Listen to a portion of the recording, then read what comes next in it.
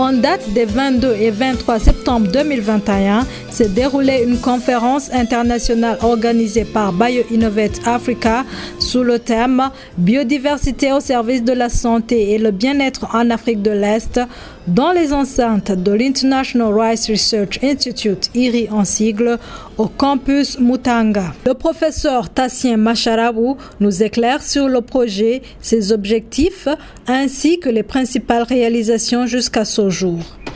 Projet s'inscrit dans un cadre global des projets qui sont appuyés par euh, le programme BioInnovate Africa qui est basé à Nairobi et avec l'appui de l'Agence suédoise de coopération au développement comme euh, donateur. Et en 2018, il y a eu un appel à proposition de projet. Le consortium Université du Burundi, Carrière Product du, du Burundi aussi, Dicho Communicative Limited de la Tanzanie et Femme de l'Ouganda. On s'est mis ensemble, on a formulé un projet suivant les orientations de l'appel à projet et nous avons pu gagner ce projet qui est en cours d'exécution depuis début 2019. Et l'activité qui nous réunit aujourd'hui, à savoir la conférence euh, internationale sur le thème de la biodiversité au service euh, du bien-être et de la santé en Afrique de l'Est, s'inscrit dans le cadre des activités qui sont prévues à travers le projet. Les raisons du, projet sont nombreuses. Je peux citer peut-être quelques-unes, notamment qui intéressent particulièrement le Burundi, même s'il y a des réalisations qui comptent pour la Tanzanie ou pour l'Ouganda. Pour le Burundi, il y avait une série d'outputs, donc une série aussi d'activités, dont, pour ne citer que quelques-unes, il y a des étudiants master en biologie des organismes et écologie un master en sciences et gestion intégrée de l'environnement qui ont été appuyés à travers le projet. Et deux sont déjà gradués, ils ont eu leur diplôme de master. Il y a trois qui seront aussi gradués très bientôt, avec toujours l'appui euh, du programme. Autre réalisation, c'est aussi les publications. Il y a eu une série d'études qui ont été conduites en ligne avec bien sûr le projet. Il y a des manuscrits qui sont en phase de publication, d'autres qui ont été soumis. Là, c'est un bilan aussi. Au côté aussi du projet, il y a la construction et l'équipement d'une unité de production des huiles essentielles à Bobanza au compte de Carré Product. Là aussi, c'est un bilan très visible. Le chantier est en cours, le matériel aussi est en voie d'être livré. Il doit être maintenant arrivé à Dar es Salaam.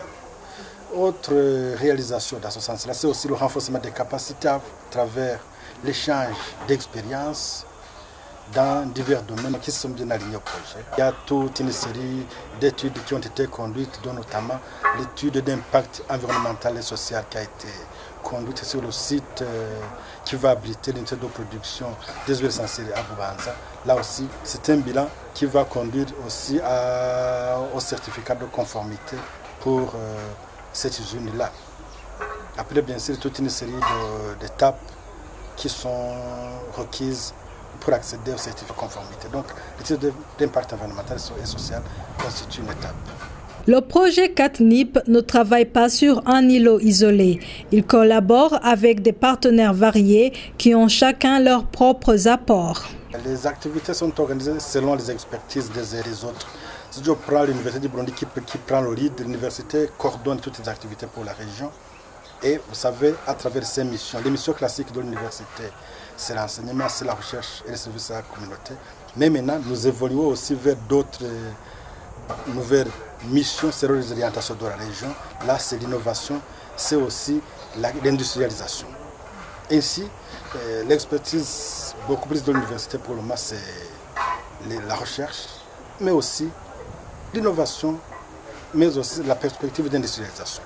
Côté Carré Product, c'est beaucoup plus la production, la production, euh, mais aussi la collaboration même avec les communautés locales dans la production des matières premières qui sont utilisées comme euh, ingrédients pour la formulation des produits.